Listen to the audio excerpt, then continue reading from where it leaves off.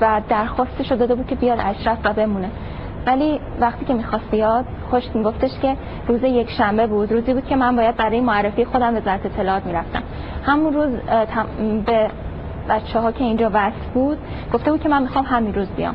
نقشه که کشیده بود گفته بود که من به اسم اینکه خودم می‌خوام معرفی کنم از خونه میرم بیرون و میام اشرف. حالا هر کاری می‌خواد بشه بشه. به هیچ کسی چرفی نزد. چون من گفت سختترین کار برام این بود که از مادرم و خواهرم و پدرم جدا بشم چون خیلی دوست داشت خانواده‌اش رو همیشه به این گفتش که اونا بر من زحمت کشیدن من باید کمک کنم بهشون الان این سن هستم ولی گفت توی نقطه که گفتم باید بیام اشرف فکر کردم به اینکه الان هزار خانواده هستش که رژیم بچه‌هاشون رو کشته مادر پدر رو کرده تو زندان. پس من نباید فقط به اون محدوده خانواده خودم بسنده کنم.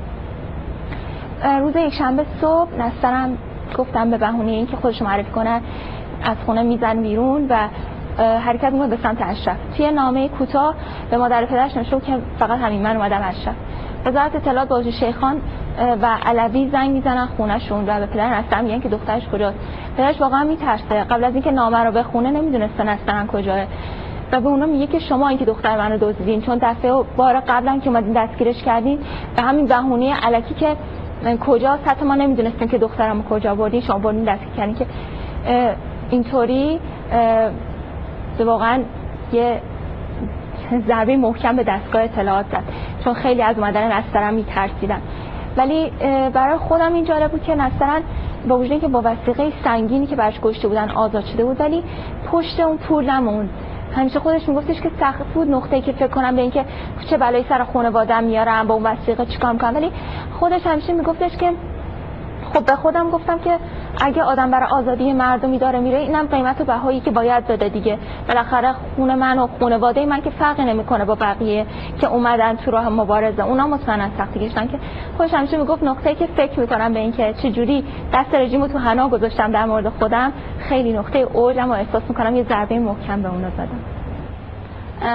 بعد از حدود یک ماه وزارت اطلاعات حمله کرد به خونه ما.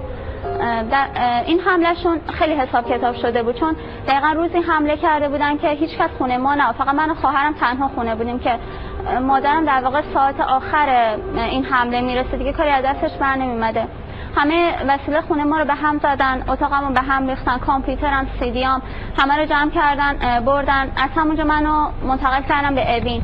همون لحظه ورودم به اوین مجبورم کردن که من چادر رو چشمم بزنم.